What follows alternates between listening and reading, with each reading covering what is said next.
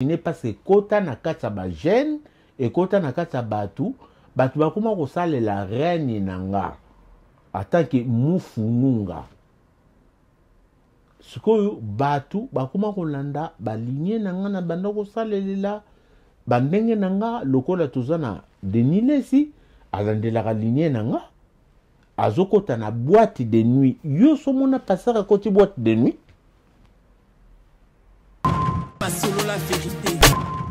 nasimbaka kisi ya basi nasimbaka kala kisi ya basi donc namekaka kosimba kisi ya basi epuis moto apesaka ngo mandundu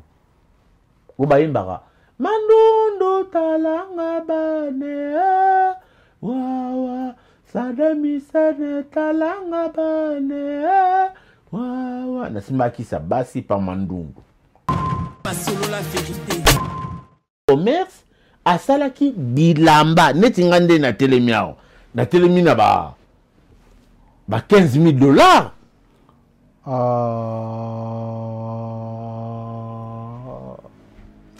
eloko nga nalingaka nde yango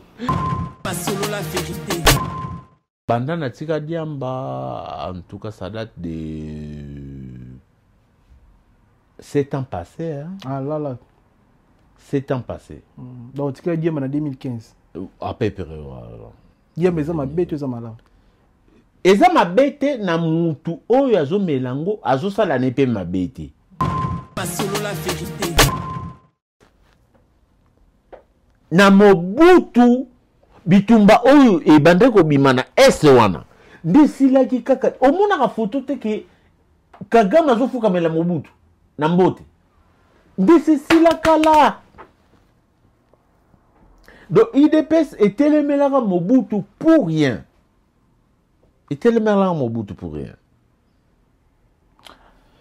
basolola verité yandi bendera basi nazwa na kisi eza lokola bagabi bagabi basi nazwa na kisi eza lokola ba euh, deux personnes wana nazwa na kisi ondire kaka bango Euh, na ba oyo mosusu na bosana vie eza molai basolola verite napesaka bango respect nalingaka bapaster nyonso me bayebi ke mwana wana makambo alobaka nyonso ekokisamaka malgre naza deki na age me naza papa nde ya bango ya molimo oyo nazolamusa makambo oyo ezosalama na kati ya baeglize oyo ezopesa bien te bazolongola basi bateni na, be, na kati ya betonga no mwasi atikali mutakala alongoli na kaleson oyo ye alati basolola verite wen nasimbaka kisi nasimbaka kisi oyo oh, tu sais que dans notre tradition bantou dans notre tradition bantou to donc to toza na biloko ya moto basolola verite bango basoda ba fardc bakei bitumba bazobunda bamisusu bakokufa me bapoliticien batikali kovivre na bango hein. donc c'est les coupables bazotikala vivant e ba innocent nde bazokende basolola verite mazine yeye mazina bakombo donc nkombo ya denis ndesi etangama aza mwana na nzambe ata azosala bemission na ye azokende komona tala bayuti kolakisa na facebook avandi na boîte de nuit na basi presque ni basolola verite biso soki tozalaki na bakisi moko omona nzete ezolobela mutu nzete mpena okokata ye nzete ezoye biso kokata nga te nga koko na yo nga na ye kosalisa yo kokata nga te kata nzete mosusu biso tozalaki na bikeko ezoloba basolola verite Ferrand na oyo wenge ebetaki mpenza ke bateki babiye na bango nyonso tu nde, nde, donc bateki mpenza babiye oyo ya, ya, ya, ya fali ezalaki ke donc osombi mwa biere nde bapesi yo mpe quand même biye osali mwa boye masolo la verite pesi ya te aleka te denis les akoleka nga te omoni nga denis les azolanda nde nga akoleka nga ata mokolo moko te denis les aza leki ya kamarade na ngai akolekaka nga ata mokolo moko te media ngo kutu oyo ya ye kokota ya bayoutube oyo kolo nango nde nga masolo la verite azosokola kizami na makolo na mwasi oyo babengi eh, na kombo ya ya ya ditch donc oyo samuel panzo akopesa bino sikoyo véritable kombo na ye aya kizami na kivila tolala na ye na ndako ya matu ya, ya samuel epanzu na baosola kizami italie na makolo wi baosokole makolo na mwasi wana basolola verite wewe balobi miziki miziki l'homme de miziki donc le 19 biso tout tokutana chez mk donc 42 chemin de fourche na Pierfit sur scène donc euh, nabengisi ba vrai chéri tout oyo balingaka komba nias bino mo boyebi bolos ba vrai jo tout ya paris bobendana bendana parce que jour wana ekozala elengi tozobeta live vraiment donc nayebi ke bozanganga mwa trop mais cette fois-ci mk apesi bino chance tokutana wana avec pomba nias ndeka tolobaka miziki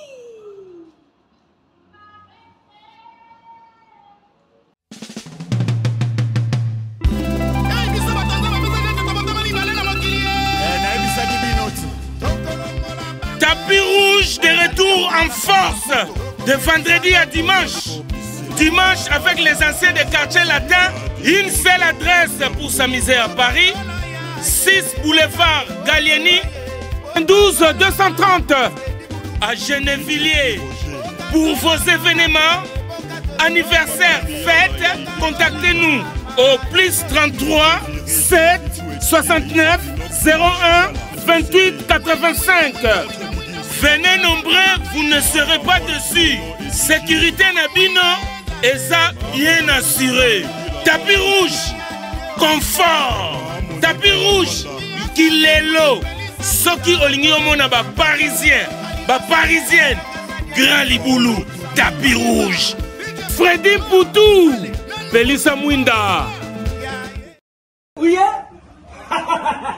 nayebisaki bino na kati ya paris na aubervillier awa mobimba mbisi esalamaka kaka na galaxie mambo ata ukei ata ukei sukasuka ozonga na galaxie mambo Petit histoire ya mbisi na kati ya putu awa se na galaxie mambo. Papa mama, olingi olia mbisi ya munene oyo kima mbangu na 137 rue André Karma na 93 300 na Aubervilliers oza mobimba. Ah, restaurant Galaxie Mambo awa na mikili ya poto kolia poisson frais nde secret na bino. Eh, hey, tala poisson, tala, tala. Tala nde babimisi yango. Tala nde baniengeli yango matungulu. Hmm, kitoko yo wapi? Ekei! Saveur, savonnier, savigne. Ah, biso na aussi sango nga moko. Fona benga bat misusu. Au numéro 137, rue André Carman, à Aubervilliers, composez vite les 07 53 28 89 07.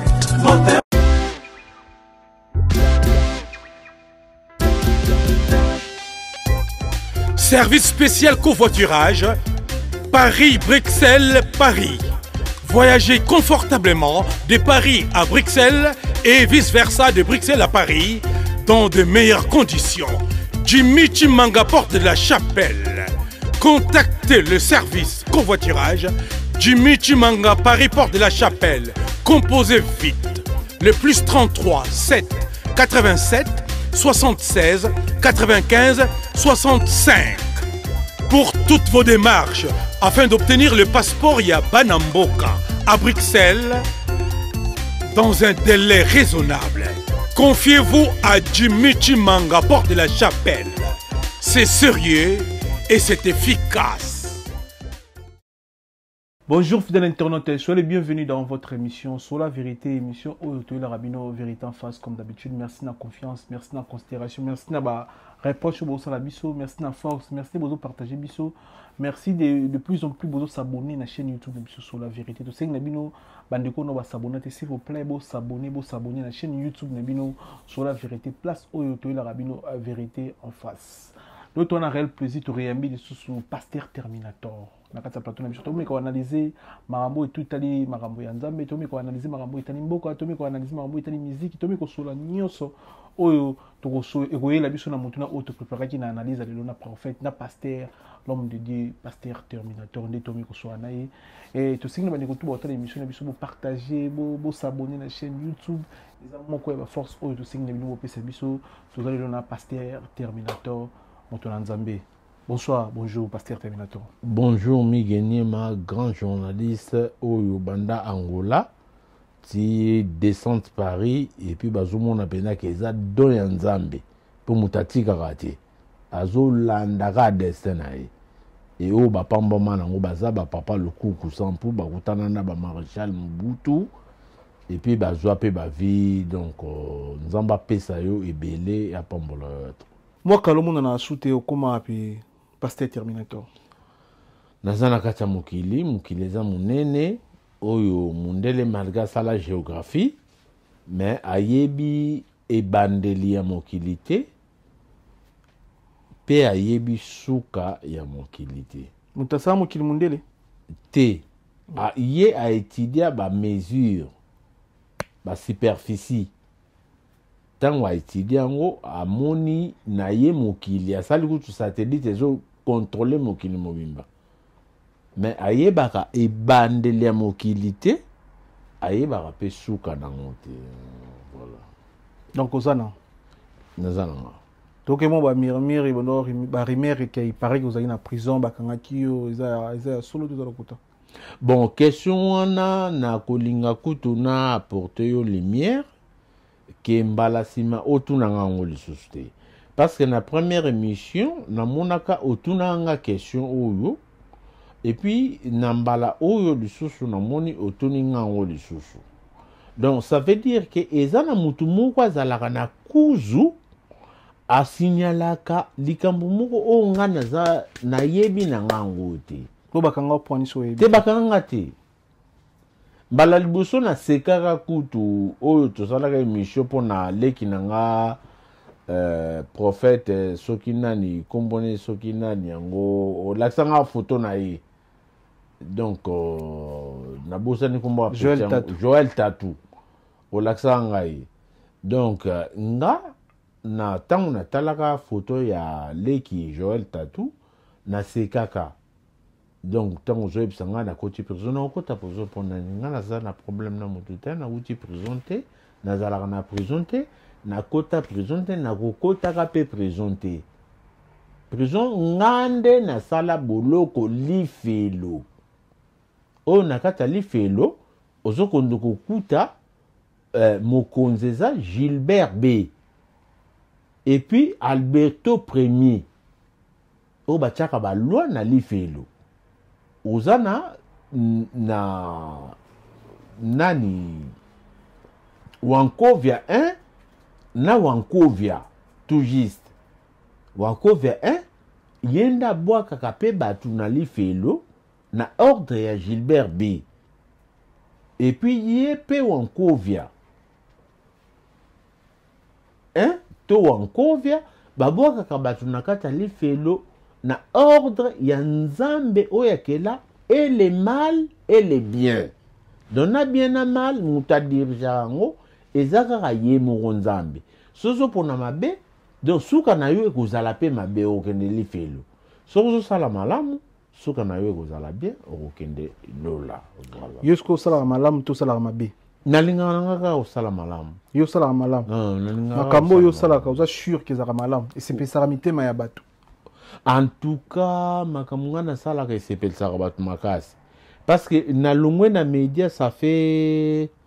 depuis na ntango youtube ebimi sika naza l'un des premiers pionniers ya bapasteur oyo abimaki na youtube liboso naza premier pasteur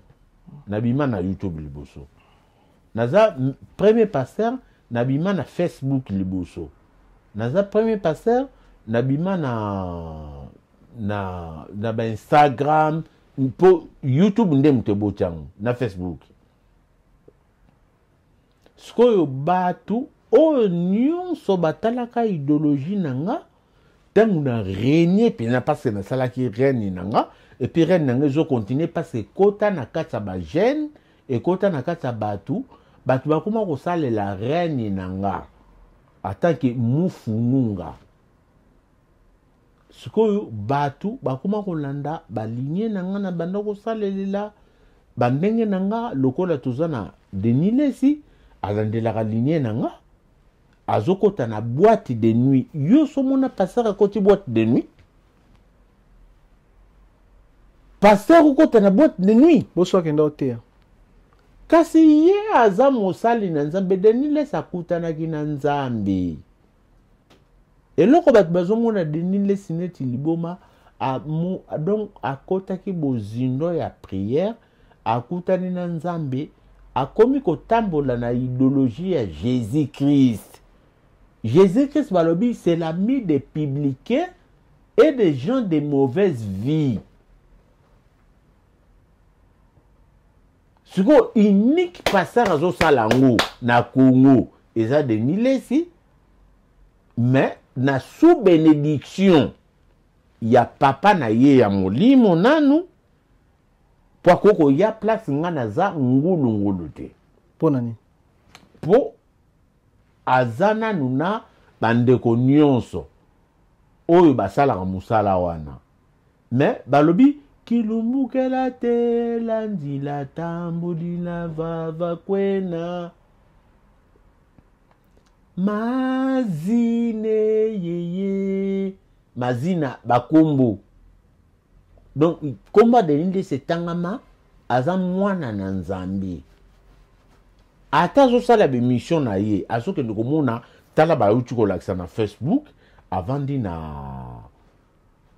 boîte de nuit na basi presque ni mais sikoyo mwana mpe oyo nzambe asala na mokili ntango tobotamaka tobotamaka ni dieu nous connaît notre origine c'est la nudité mais mundele mpo asala commerce asalaki bilamba neti nga nde natelemi awa natelemi na ba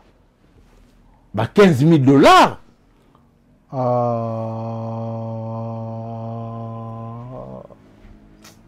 eloko nga nalingaka nde yango donc eloko wana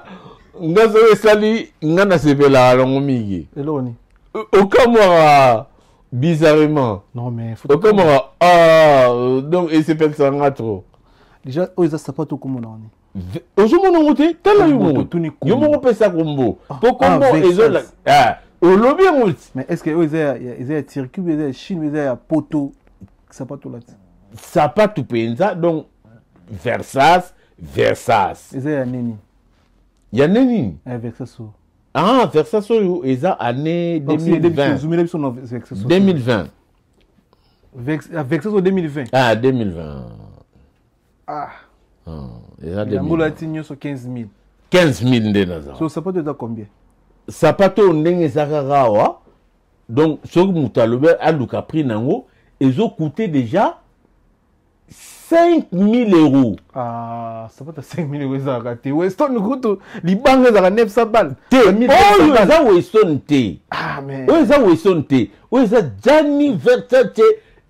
qualité supérieure qualité supérieure bo complet vesto eza nini kombo nini complet vesto oyo donc euh, kombo totuni kombo kombo euh,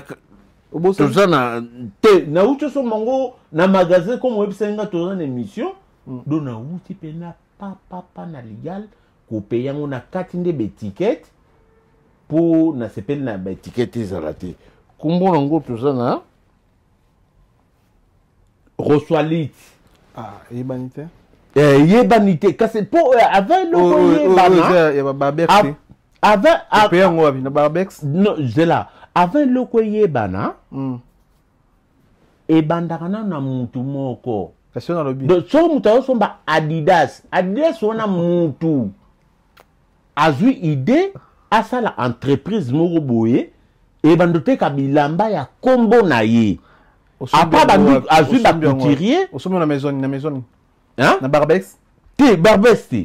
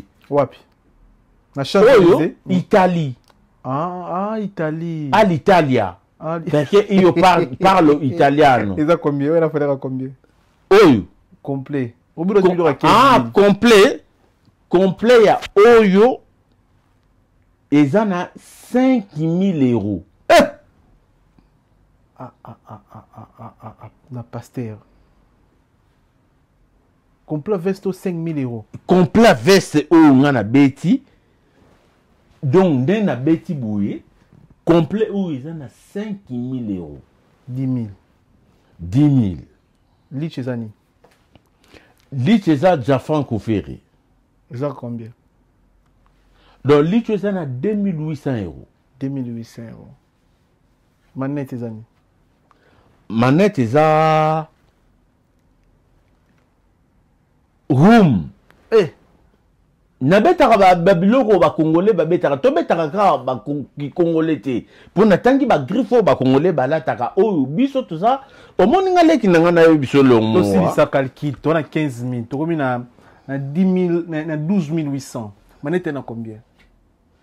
manete euh, nabosani prix eh, eloko no moko ah, eloko na ngai moko me nasombango kala ebongo travate cravate ekoki kuta ba 1000 euro hein? donc tokomi ken shaba te toleka nalobi e, e tokomi ken shaba te mpasi kocontinue te ah. na kati nana basengle toza na hiver naza na ba t-shirt ah. nalati mpo na malili ah. euh, donc wana mpe eza baprix na yango c'est ce que j'allais te dire mais ekomaka mpe euh, mosali na nzambe mpe aza mpe libre mpe wamela na ye diambe komela diamba baoyo ba bamelaka te na tuna question eh, mosali na nzambe akokomela mpe diamba soki mosali na nzambe akoki komela diamba diamba bato balinga yango te diamba bato balingaka yango te comme bato balinga yango te donc eza ba non fumeur balingaka diamba te yango christian bosenge journaliste puissant na kinshasa atatolaka puissance to valeur ya diamba alobi eza na baproteine eza na bamakambo ebele diamba esalaka me biso na congo toutiliza yango te biso par exemple toza na cobalt toza na cobalt mm. mais est ce que toyebi osala batelefone mm. eza na telefone moko ata nkombo lukombo to lukamba sengula oyo sele oyo scram abwakaka eza eza te eza te to eske toza na nsengo wi toza na bansengo parce que Mobutu atikelaka biso salongo yango omoni na bandako ya bato na Kinshasa nyonso baza presque na bansengo o... diamba isomela diamba na vino nga oui na gutaka kala je ne peux pas mentir euh, kala na bandaka komela na mela yango ti naye kokutana na mwasi moko Ayebisi nga ah mobali na nga nasepeli te omelaka soso eloko oyo. A partir ya wana natika namelaka yango. Ça date de combien d'années? Bando tika diamba. Banda na tika diamba en tout cas ça date de 7 ans passés hein. Ah là là. 7 ans passés. Mm. Donc tika diamba na 2015. Euh, à peu près voilà. diamba eza mabe to eza malamu eza mabe te na mutu oyo azomela yango azosala ne mpe mabe te ameli yango masala ne mabe te yo banda osala mabe ngai ebande eh, kosala nga neti na nabanda korevoir le passé na nga soki omeli diamba eh, soki nameli yango kaka nabandi korevoir bapasse na ngai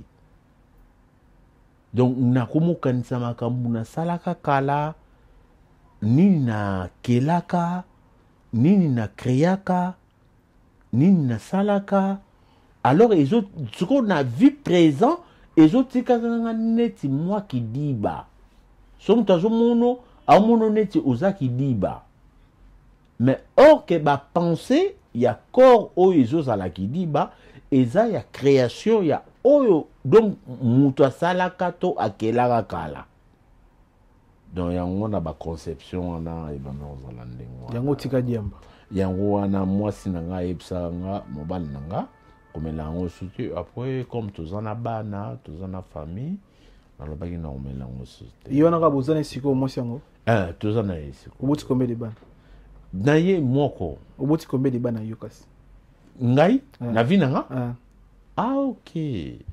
nga na vi na ngai naboti 4 bana kombe de mama kombe de mama naboti na trois maman eh. wow, trois maman oyebi kosala nzambe ndenge okobota na trois maman bo ah, à l'époque je n'étais pas serviteur de dieu nabota na age ya 15 ans 15 ou 16 ans nde premier mwana na ngai ya mokili aya donc nayebaki nanu nzambe ndenge te ya koservir ye me nayebaki nzambe na ndenge ya colonisation des anciens bazoloba na biso nzambe azalaka omoni mwana moke oyo azokola ah, na miso ya bato alandaka kaka makambo baparent na ye to bayaya na ye bazoloba so bazoloba français ye mpe akobotama azokola azoloba français soki allemand akobanda oloba mpe ka allemand soki lingala lingala soki kikongo kikongo soki kishwahili kishwahili soki kiyombe kiyombi donc okobanda oloba monoko oyo baparent no bazoloba mpe ozosala makambo oyo bango bazosala donc ngai nayebaki na ngai jésus christ te ntango nayaka na mokili baparent na ngai nde babetela ngai nkombo ya jésus christ yango ngai mpe nakomaka kolanda jésus christ soki te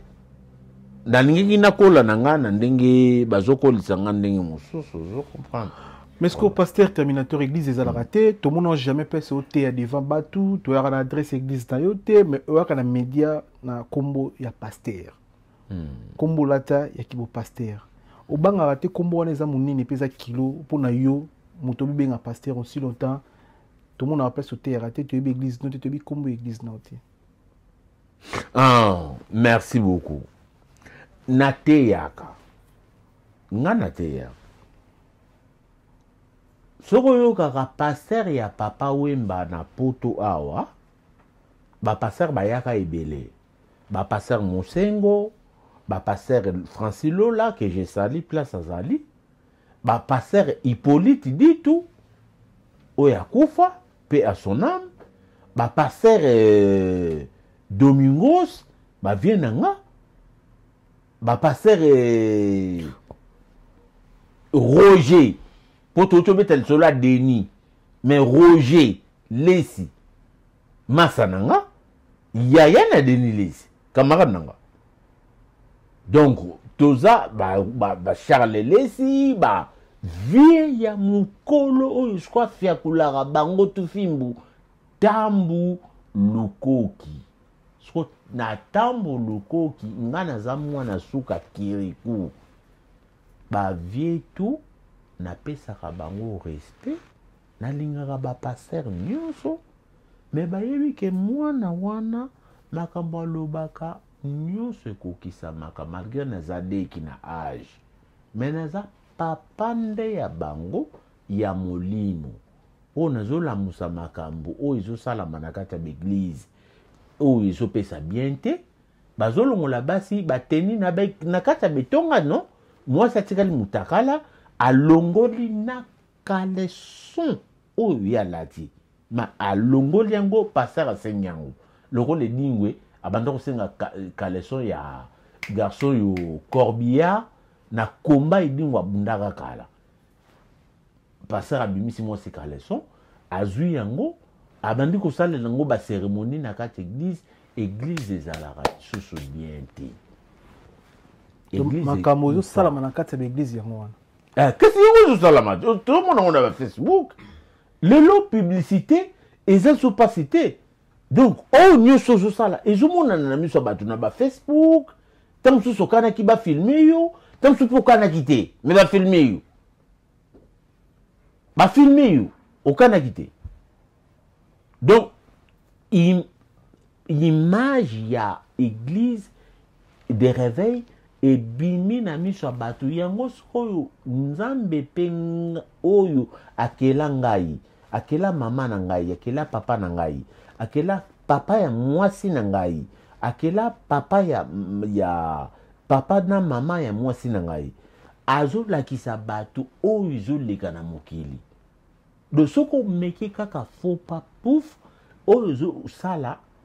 kamera ekoma nango portable eh? kala baphotographe bazalaka na mbongo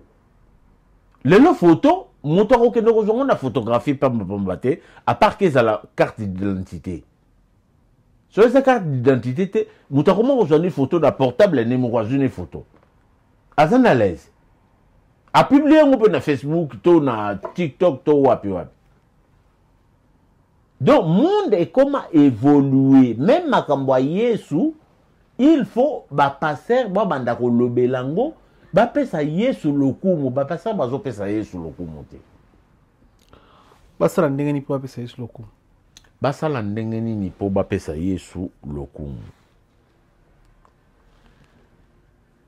batosa liloba na nzambe batosa liloba ya yesu bapastere batosaka nanu yesu te balobaka aza nzambe yesu aza nzambe te bango batemonyaka oyo oh, donc bapastere basalaka contradiction ya oyo oh, yesu alobaka yesu alobaka ke aza nzambe te aza serviteur de dieu moto wana moto azoki interprete ye eza jean Jean 17 verset 3. Alors, sikoyo bango euh, kuna na Jean 17 verset 3, Yesu azoloba aza motindami ya Nkolo Nzambe. Me bango komona baye na etanda mpo na koyebisa bato ke Yesu aza Nzambe. Or ke Yesu lisusu azo contredire le même pasteur azoyebisa biso ke na jean chapitre 20 verset 17 je ne suis pas encore monté vers mon père mais va trouver mes frères et dis-leur que je monte vers mon père qui est aussi votre père vers mon dieu qui est aussi votre dieu donc yesu aza nzambe te aza motindami ya nzambe mpe ekelamu ya nzambe parceke avant botama nzambe atindaka ange gabriel epai ya marie mpo ayebisa ye ke akokoma na zemi mpe akobota mwana mobali na nkombo ya yesu do babongolaka babongola bapasaka babongola makambo ya ya, ya Nzambe. Omoni, bakomisa yango ndenge mosusu oyo Nzambe abandaki kolinga interpretation ya becriture wana te interpretation nde moto ekomeli yo mpe na, na kibolenge na yo mpe osimba kisi to ndenge okoma mpe mokolo boye osimba mpe kisi peut-être on sait jamais we nasimbaka kisi nasimbaka kisi oyo tu sais que dans notre tradition bantou dans notre tradition bantou to donc to toza na biloko ya moto okomona osimbi kaka liseke ya taba to ya ngombe bangombe mosusu bazalaka na maseke eza na bangombe mosusu baza na maseke mpenza ezalaka minene boye ezali Kaka liseki oyo osimbi boye ezobeta babale munduki ebomi mpe mutu toza na kombo kombo kaka oyo bato bakombelaka bandako bamapango moyibi ayibi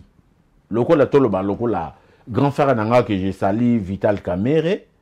bato tomonaki yango na, na ba rtnc ke ayibi mbongo ya mboka sikoyo omoi bameme mbala moko na leta na tradition ya kala oyo marie paul ayembaka tribunal coutumier mpe ezalaka o tribunal coutumier bamemi yo na tradition kaka nkombo oyo ozomona bakombelaka ndako batye yo balekisi yango mibale boye kanvu kanvu kanvu misato soki oyibaki te eleki nango yo bakokanga yo te ocomprendre très bien mais soki oyibaki ntango bakolekisa yango lisusu ekombo ekangami yango moko ekomi ema ekangi yo omoni tradition bantu yango mindele bamonaka bato oyo baza mistiki toza na biloko ya moto tozalaka na biloko ya moto original oyo nzambe apesa biso nkombo ekangi ekangaka moyibi tozalaka na kanga mvula mbula mpenza neti meteo e annonce ke mbula ekobeta ekobanda ere boye ekosila ere boye me biso babantu bakobo banoir tozalaka na civilisation moko to mayele moko nzambe apesa kutimi na biso okoki no kaka na kombo na nzete ya, ya liboka kokanga mbula na maloba okangi mbula donc nous sommes des gens bénis par l'éternel en plus toza na sous-sol ya danger hein? toza na iranium toza na cobalt toza na or toza na cafe cacao toza na diamant toza na ba richesse presque tout même essence même toza na mais tozo souffrir parce que tozwa ba idée na biso topesa yango epai ya bana israel siko bana israel bango bapesa idée na bango ni meme epai ya jésus christ bana israele bapesa ba, ba, ba, ba, bapesa ide na bango na jésus krist te soki tu na jésus krist oyo biso bakretien tosambelaka kuna na israele babengaki apostere bango balandaka ancien testament bazalaka na moïse bazalaka na yesu te bazalaka na yesu te bango bazalaka na ancien testament sikoyo yesu babengaka ye kuna na israele apostere orke biso bapastere babengi ye nzambe bakretien ba, ba katolike babengi ye mwana na nzambe bato ba ya misioni babengi ye nzambe molimo mosantu na kimbanguiste mpe babengi ye nzambe molimo mosantu motu mosusu epuis donc divergence d'idée eza na christianisme makasi se mpo na bible mpo na bible bible emema divergence moko vraiment ya kosakana te batemoin de jehova baza na ndenge na bango bango baliaka makila te bazongisaka makila te babudiste baza na ndenge na bango do mutu na mutu azoyeba nzambe na ndenge na ye me malgre mutu na mutu azoyeba nzambe na ndenge na ye ikone na biso ezalaka nde jésus christ voilà. question na nga eza osimba kisi olobi wi wana osimbaka kisi kisi ya nini osimbaka mpe kisi pourkoi osimbaka kisi mposana nasimbaka kisi ya basi nasimbaka kala kisi ya basi donc namekaka kosimba kisi ya basi epuis moto apesaka ngo mandundu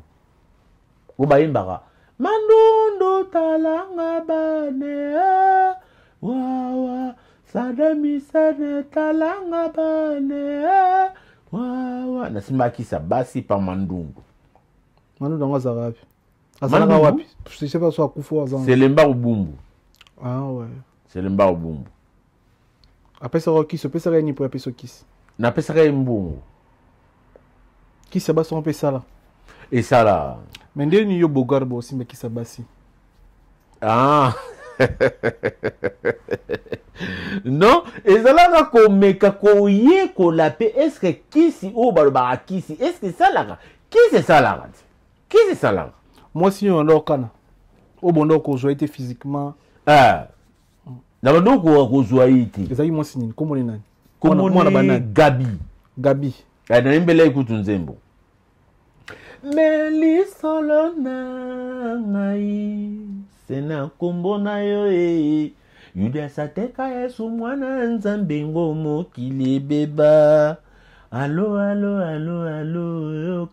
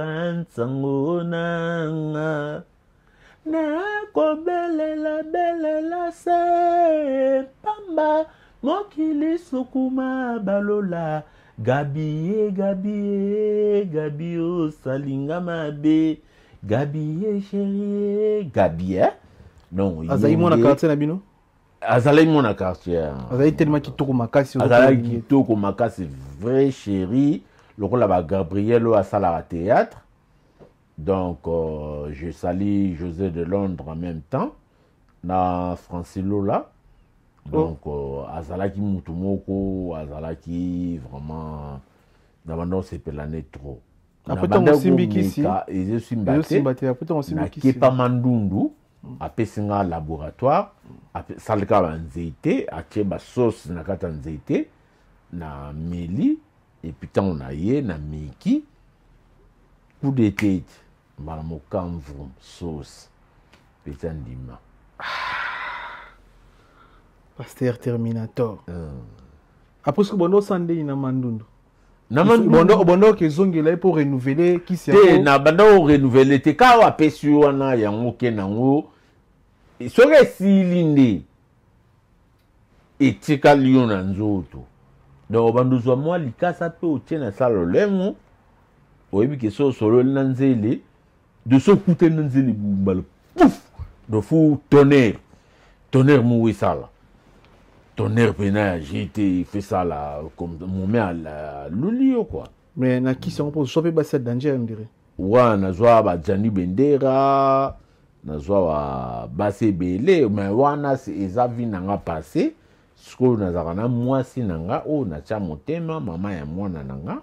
donc ye nde navandaka na ye ye ozwa na kisi te te ye kisi te te kisi te sikoyo basi ozwa na kisi banani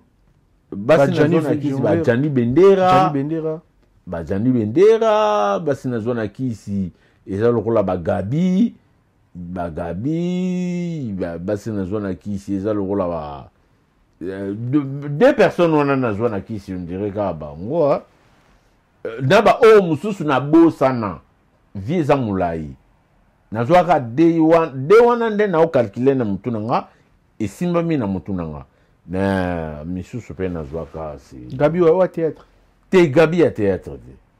gabi aza na mboka moko ya europe awa mais banda ya nalandelaka vie na ye te parce que bayebisa nga abala epuis nga moko mpe nazwa disponibilité disposition nazwa na mwasi na ngai mama sophie like epuis navandaka na ye naza na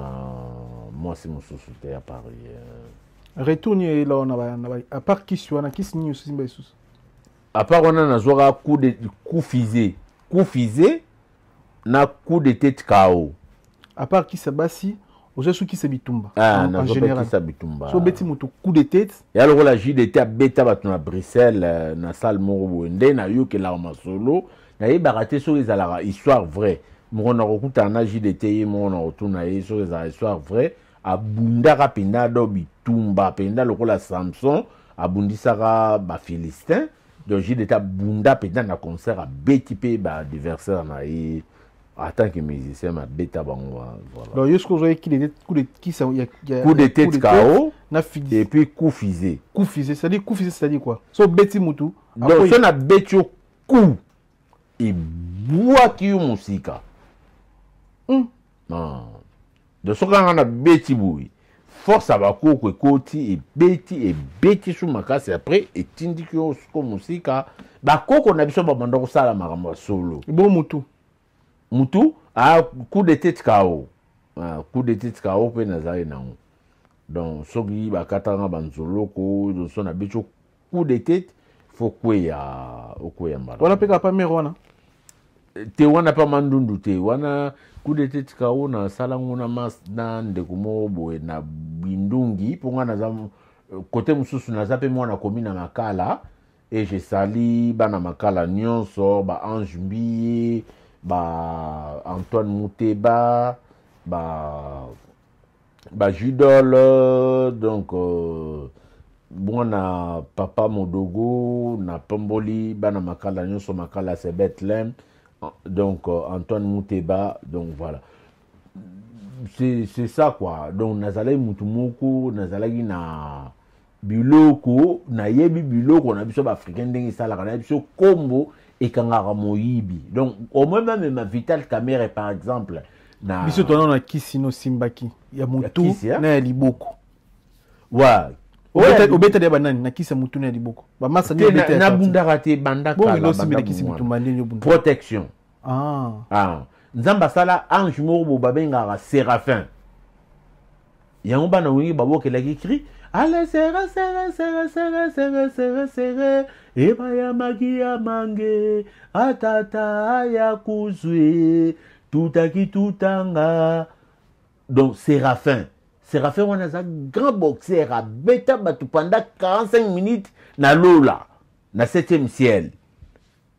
abeta ba donc monde entier na 45 minutes ange séraphin na 7e ciel donc eza et, et, et, étape na étape oyo ntango yo journaliste par exemple papa na nga ozotuna nga mituna nga mpe nazoyanolo selo bonzambe oyo nga nayebi mpo oyo bapara bateyaka nga nalandaka yango natosaka yango yango ezopesa nga connaissance na bango oyo mpe ngai nazokoya nango nouveau eza ya koapprendre mpo na kodelese rien voilà quoi mm. pasteur terminator mm. apart kisi ya basi kisi ya bitumba kisi nisi osimbaki te apart kisi ya basi na kisi ya bitumba na nasimba kisi mosusu te te nasimba kisi lelo oyo mpona bato baotala biso bakoloba ndenge oyaka koloba makambo en desordre makambo oyo olobaka na eza baretour te bakisi osimba peut-être euh, makambo en desordre neti nini nalobi en desordre ndeti oyaka koloba kodenonse bapaster balalaka ah. basi ya mabala bapaster baza moins churie odenonsa bapaster Mm. yo mpo oza pasteur mm. bon bato mosusu bamona yango ndeti eza baretour ya bagwa peut-être ah, merci beaucoup soki ezalaki retour euh, eza retour ya bagwa ah napamboli nzambe kutu makasi na bato baloba eza retour ya bagwa parce que nazomona un pasteur nommé lokola denis lesi un prophète nommé lokola prophète ngefa JF Ifongi, Pasteur Liteya Kanda, Pasteur Liteya Pete, Roger Baka. Donc groupe oyo natangi wana ozwi lisusu masa na nga Christian oyo ya La Vignora. Masa ya La Vignora Dakumuda. Dakumuda. donc bazo teleme l'église jete église eza ya kozinda te église eza donc découvert à poil basi bazobima na mibali mibali bazobima na basi na kati wana asilisi prière aki kosala copa mikanda azokosa l'état français to l'état congolais soki aza congolais soki aza camerounais azokosa l'état camerounais l'état français soki avandaka na italie azokota l'état italien na l'état congolais soki aza congolais donc bato baza donc tozotambola en désordre mokili etambolaka en desordre epuis peuple alingi eloko mosusu me guvernema mpe ezoproposaka ye eloko mosusu de ce que le peuple veut yango te guvernema ezopesa bango donc monde ezotambola en desordre yango wana nayebisi yo denis lesi prophète ngefa ozwi prof, euh, pasteur john liteya pete pasteur liteya kanda jf ifonge pasteur même marcelo donc mopepa sika ekota na eglize banda nga nasala bemission mopepe ya sika ekota na eglize donc bato bakoma kosalela oyo nalobaka oyo nazosala sikoyo eza eloko ya sika nanu kutu otuni nga badernier question na ngai te mpo oyo oza journaliste inspiré de dieu Migue Niema, nayebi ke okotuna eloko moko ya suka mpo tokende na, na, na badimension mosusu ya baecran prophétique te. Ngai naza niveau ya Denis Lesi te, naza camarade ya yaya na ye yaya na ye Roger Lesi. Oyebi ke tomona makambo na mokili oyo ndeti yo don nini oyo nzambe atya na kati na atyanga don ya prophétie atya don ya évangélisation atyanga don ya doctorat atyanga don ya pastoral don pastoral et puis atyanga don apostolique don apostola odona nyonso oza nango wana naza nango naza nango tolakisa foto ya motu moko oprofetize mpo nene émission ah, okay. merci bandeko to bolanda biso merci na jimmy chimanga porte de la chapelle partenaire officiel vie na nga merci pour tout merci na evan tumba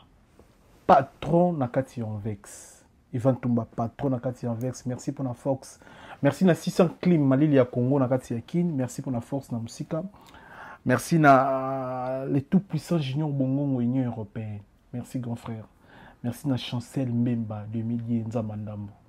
merci pona Fox ndeko nanga merci na Gelor Kanga international gabonais mais parisien Gelor Kanga mutu nanga merci beaucoup merci na David Molinga Falcão, motema ya Gladys Tambemo, international congolais David Molinga Falcão, merci pour le soutien pour la Fox. Merci Naya Guy Baena, colonisateur de la SAP, motema ya Ma Sylvie Baena, na kati ya Italie. Merci. Merci ma ndeko tout la biso, vous êtes belé. Donc profitez fort. Merci na Clarisse Lupengi. Clarisse Lupengi. na kati ya londres motema ya Mar marcoline darome motema ya marcoline darome clarisse lupengi topesi bino mbote botala biso na kati ya rome motema ya, ya, ya, ya, ya, ya marcoline topesi bino mbote marcoline merci mpona force marcolino marcolino merci mpona force merci na kuma se na régie merci na euh, héritier basket grand frère propre merci na oxy de la république merci na david Eh, merci na nga david kapala kapala merci merci bandeko tu boza ebele botala biso boza ebele bana mona te botala biso toyebisi bino bamere oyo bolanda biso ya senet poma cuisine ezalaka biro ya mwasi cuisine eh, première biro ya madame ya mwasi ezalaka bi- cuisine. prophète mario branham Ah, prophète mario branham moto aloba ngo ah. cuisine ezalaka biro ya mwasi eh. cuisine eza la place de la femme c'est ça donc bamere na biso ozo cuisine mire ekomi neti mwa salite eh.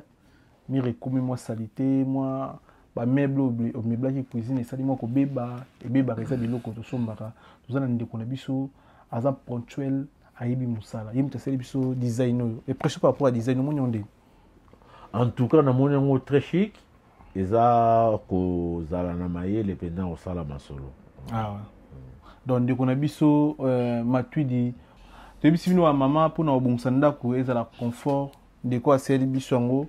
akosala yango donc bango basalaka yango donc organisation nguvulu multiservice organisation nguvulu multiservice bandeko na biso baosala mosala kitoko mpona cuisine salon bameblelo ndako bamontelo décor nyonso olinga baselo plafond donc makambo to organisation nguvulu service multiservice s'il vous plaît baosala yango bia numéro ya telefone totie numéro na bango benga ndeko matuidi alobaka portugais alobaka français alobaka mpe lingala donc bopesani rendez-vous aza correct neti mundele c'est-à-dire respect air respect rendez-vous bobenga ye mpona batraite ba, ba bacuisine ya salon ya ndako esalaka bien ndako eh? ndako erespire beauté esalaka bien epuis tobisi bino le 24 décembre oyo rendez-vous le 24 décembre oyo rendez-vous na kinshasa avec bikamwa fondation bikamwa donc c'est-à-dire fondation bikamwa ezapesi biso rendez-vous le 24 le 24 décembre oyo na kinshasa tokozala wana biso nyonso bomona baimage tolekisela bino bandeko na biso bakokende kosala mosala bauta poto donc eh, bauta poto fondation bikamo le 24 décembre na kinshasa babengisi bamama nyonso baya kozwa bakado na bango mpo na, na fin de l'année organisation mhm. eh, fondation bikamwa donc eh, le 24 décembre baza na rendez-vous na bamama eza organisé par gautier bikamwa et puis master na ngai kalebe mabiala donc eh, kalebe mabiala baimage tomono tiela bino totelecharge baimage nyonso makambo tu baokesa na kin baimage donc tolekisela bino eh, eh, fondation bikamwa très fort très fort très fort parce que idongo moniongo nde ni fondation bikamwa mpona bamama na biso na kin baopesa bango badon bauti poto baba na poto ndeko na biso gautier na ndeko na biso caleb bazalaka awa na france fondation bikamwa yango eza na kisasa eza awa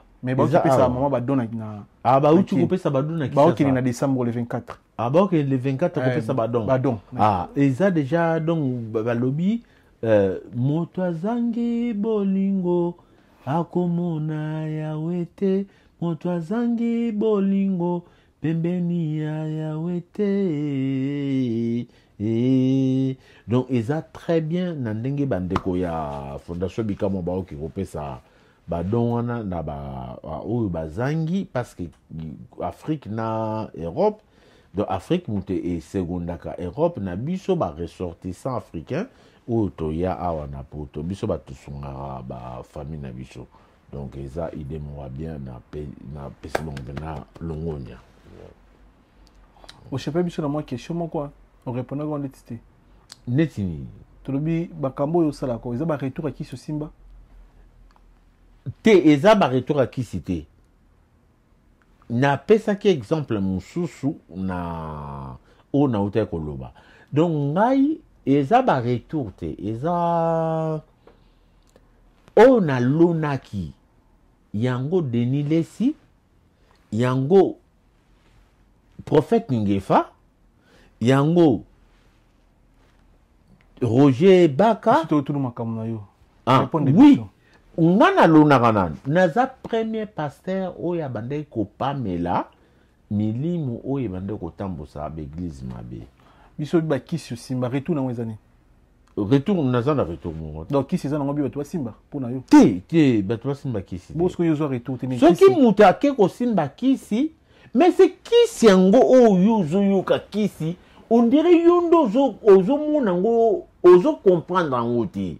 écoute moto akei na pharmacie kosomba kisi ya novalgine akoti na zamba akoti na zamba te akoti na zamba te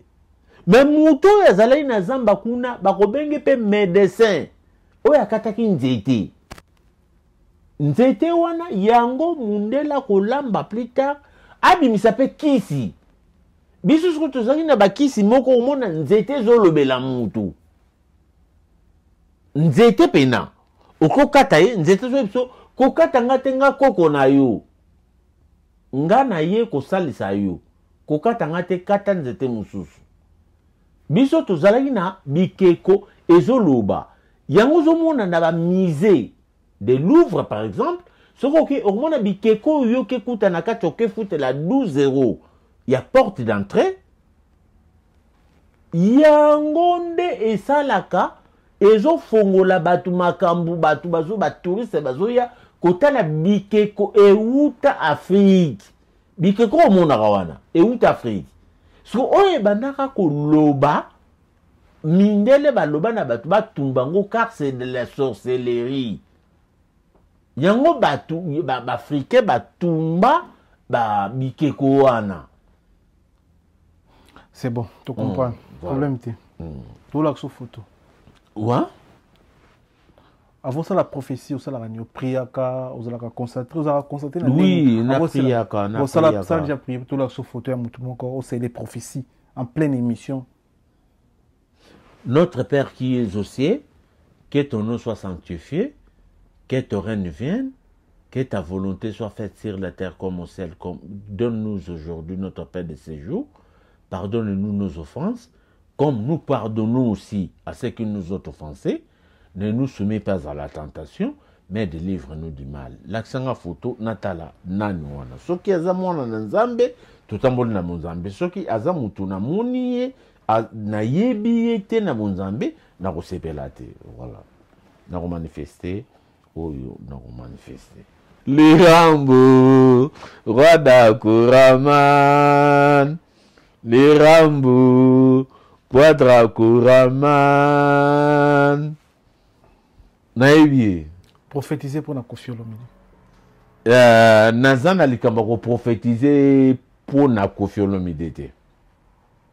nayelaki mpe yango te oh mama na ngai ye bien sûr nayelaki te koprophétise mpo na kofiololalaire olobi oza prêt ya koprophétise osambeli mpe mposala prophétie na oyo te nasambelaki mpo nayamba mopaya nayamba mopaya oyo nakomona na bemission nyonso mige niema asalaka apresentaka bato un inconnu nayebaki te nani pour moi c'était un inconnu bon prophétiser pour na Koffi Lo nini okoloba pour na carrière ya Koffi Olomide comme prophétie Koffi Olomide aza na na koko prophétiser te ba prophète, un prophète ne prophétise pas sur un individu un prophète prophétise pour toute la nation ou tout le monde entier donc nako prophétiser kaka mpo na kofi te pour toute, Nde? la, pour toute la nation oui tovandi wana fade abeta ye stade omonaki nini avant concert nalandaki mpenza nyonso pre te mpe avant concert nini oyo omonaki pour toute la nation nzambe alakisaki yo nini mpo na concert ya fali Mm. Avant, ah te avant. nzambe alakisaki ngai eloko te mpo na concert ya fali alakisaki ngai eloko te nga nayebi kaka ke natalaki internet namoni fali asali befort na ye soki lelo ye akomi boye ezali befort na ye moko mpe babenediction ya nzambe eh, donc namonaki befort fali asali asali bapublicité na net epuis abeti concert na ye bapesi mpe babiye mosusu ndenge namonelaki osombi biere bapesi yo biye osali boye bapesi yo eloko boye bapesi yo biye osombi mwa eloko boye bapesi yo biye donc eza différent na oyo wenge ebetaki mpenza ke bateki babiye na bango nyonso tout nde nde donc bateki mpenza babiye oyo ya ya ya ya fali ezalaki ke donc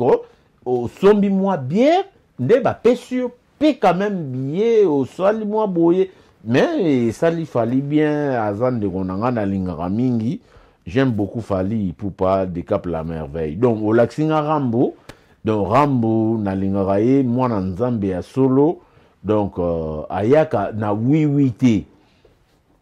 ayaka mpe na nono te aza suiviste te aza leader vraiment donc leader d'opinion nalingaka rambo makasi voilà fere auti ozonga kini après boloko na ye prophétie nini oza nango mpo na fere egola en tout cas nga naza motu lokola baide wana ya obike denis lese abetaka biso yango a ah, denis lese denis lese mpe nabetaka eka prophétique yo biloko na obeto so ezalaki ye mongo ta ah, ah mais, mais, mais euh, eza koyeba évolution ah, leki na niveau ya prophétie hein? te aleka te denis lesa koleka nga te omoni nga denis lesa azolanda nde nga akoleka nga ata mokolo moko te denis lesa aza leki ya camarade na ngai akolekaka nga ata mokolo moko te media ngo kutu oyo ya ye kokota ya ba youtube oyo kolo nango nde nga yo kaka denis lesileki ya camarade na kizami na kibila yaya na yo kizami na mpena tomona pesa ndima te keoza leki na ye eh, mais soki okotu na ye oyebisi ye histoire ya ya samuel epanzo na italie oyo ke bazosokola kizami na makolo na mwasi oyo babengi eh, na kombo ya ya ya ditch donc oyo samuel panzo akopesa bino sikoyo véritable kombo na ye aya kizami na kivila tolala na ye na ndako ya, ya samuel panzo na italie oui baosokole makolo na mwasi wana E, oyo ndeko na ngai mwasi azosokole makolo azobongisa mosala na nzambe mpo alala kimia na ndako na ya ndeko na ye samuel panzu azalaki mwasi na ye oui kizami na ye akoteya na italie bambala ebele tovandi to mpe tovandi tole tosololi epuis nabenga ye mpe na batelefone nabeteli ye mpe bamasolo oyo ça c'est mon grand frère c'est mon grand frère vraiment que j'aime beaucoup donc euh, denis lesi bakizamina ba bavie ba wana tu kutu bavie lisusu wana ozotanga lokola bavie lokola nani tozwa ba grand frère oyo ya na ami na ngai apesa mono passage Matou Samuel. Te Matou Samuel te. Matou Samuel camarade na ngai. De bato omonaka wana bambutaka moko basala ba succès. Frère Mbuta. Masa na ngai. Na kibonza mebe na mokili. Ah.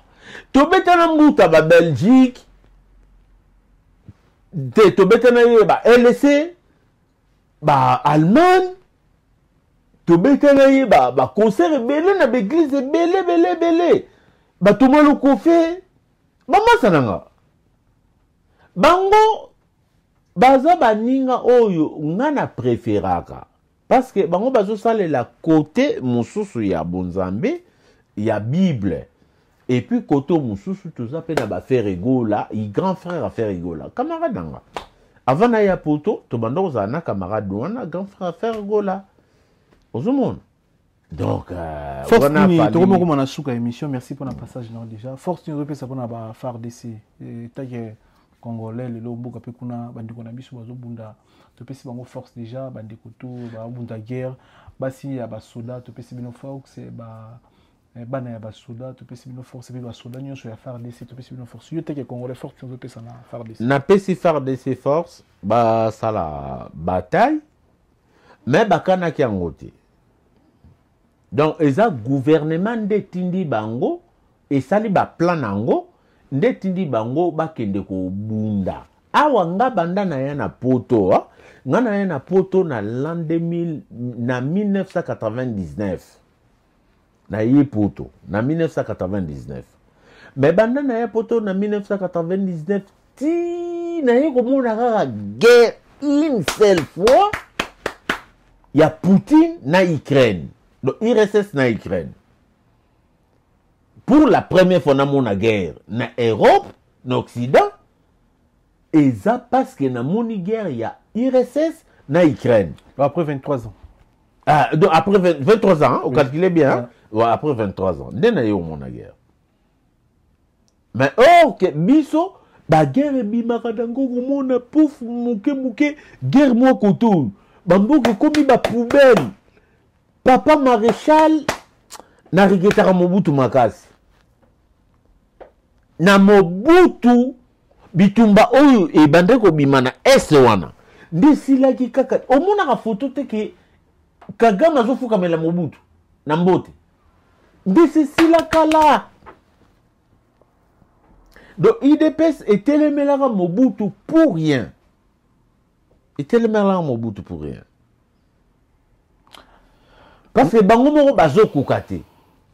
eh, bango moko bakoki te kutu oyo kutu ya mobutu elakisaki akangisi mboka tata moko mama moko ekolo moko parti moko bokonzi moko to tozalaki moko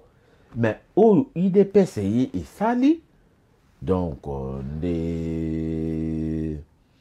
epesi echec total na kote gouvernement bango basoda ba fardc bakei bitumba bazobunda bamisusu bakokufa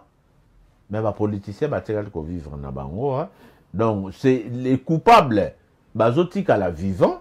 e ba innocent nde bazokende kokufa merci mpona passage na yo merci bandeko to batali biso so oza na bato koremercie eza banani bon na remercie mwasi na nga mama sophie na remercier Denis Lessi, na remercier Roger Baka, na remercier John Ngefa, na remercier euh, Edino Image, na remercier ba cameraman na biso oyo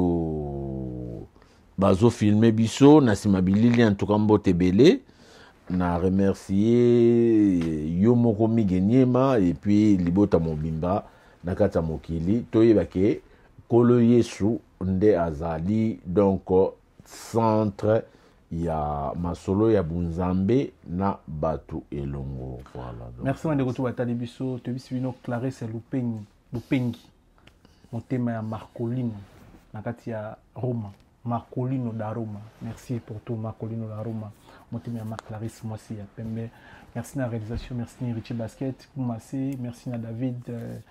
david falcon et david masananga david kampala david kampala et puis merci na oxy de la république on est ensemble tokuta minyomba na nsima soki nzambe azongi te on est ensemble